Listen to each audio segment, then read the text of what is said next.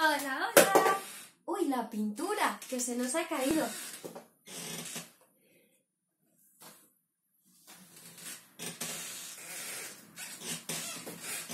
Hola, hola. Bueno, como ha llegado la primavera, aunque no lo parece porque hoy unos días hemos pasado ahí unos días de fresquito, ¿verdad? Pero en la primavera ¿Sabes lo que pasa en la primavera? Pues que nacen las flores y hay mariposas por ahí y hay pajaritos por ahí y hay más moscas que hacen y más avispas que hacen y todos salen a, a verse y a jugar porque ¿sabéis qué? Que sale el señor sol y nos da calorcito, por eso cantamos eso de Sol, solito, caliéntame un poquito, ¿verdad?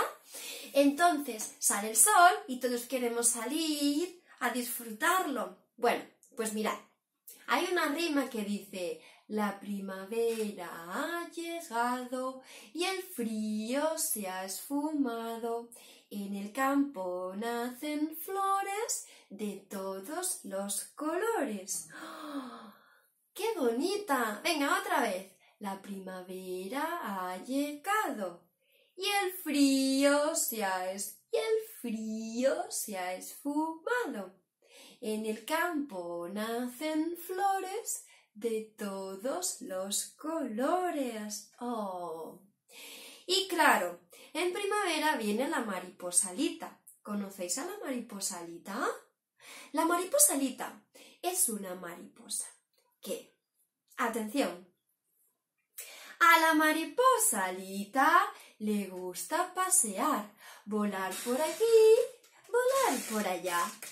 Un día voló tanto que se cansó. Le ofrecí mi mano y se posó.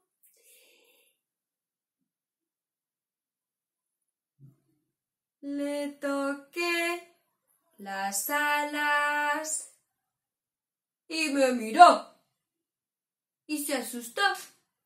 Me miró enfadada y se fumó.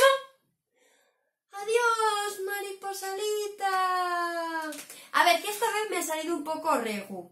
Vamos a volverla a hacer, ¿vale? Venga, preparados, ¿eh?